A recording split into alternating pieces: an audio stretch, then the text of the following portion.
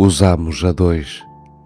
Estações do ano, livros e uma música, as chaves, as taças de chá, o cesto do pão, lençóis de linho e uma cama, um enxoval de palavras, de gestos, trazidos, utilizados, gastos.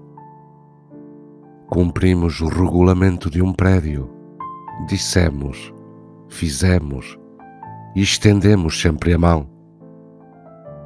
Apaixonei-me por invernos, por um septeto vienense e por verãos, por mapas, por um ninho de montanha, uma praia e uma cama. Ritualizei datas, declarei promessas irrevogáveis, idolatrei o indefinido e senti devoção perante o nada, o jornal dobrado, a cinza fria, o papel com um apontamento. Sem temores religiosos, pois a igreja era esta cama. De olhar o mar, nasceu a minha pintura inesgotável.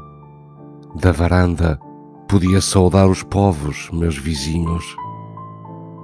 Ao fogo da lareira, em segurança, o meu cabelo tinha a sua cor mais intensa. A campainha da porta era o alarme da minha alegria. Não te perdi a ti, perdi o mundo.